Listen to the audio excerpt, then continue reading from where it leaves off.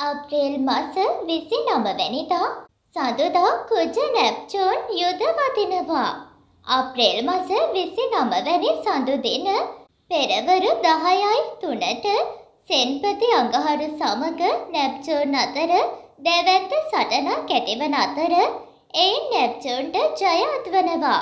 මෙහි ප්‍රතිඵල ලෙස ශාස්ත්‍රීය විද්වත් සොයා ගැනීම් අංශවල දියුණුව ඇතිවද ජල යාත්‍රා පෙරලීම ගෙලා බැසීම් කඩා හැලීම් වැනි විවිධ අපදා බහුල විය හැකි.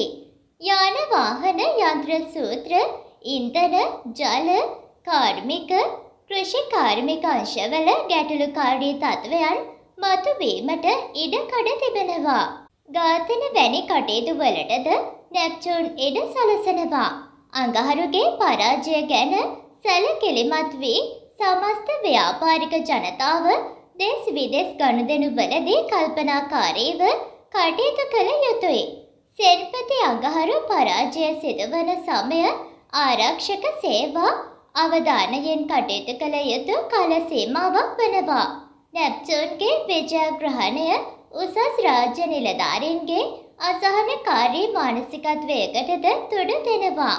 නවීන ව්‍යාපාර ස්ථානයන්හි යන්ත්‍ර සූත්‍ර භාවිතය බහුල වී යාමෙන් ඌන සංවර්ධන රාජ්‍යයන්හි රැකියා ආදායම් මාර්ගවල ගැටලු ඇතිවිය හැකි බවක් පෙන්නුම් කරනවා.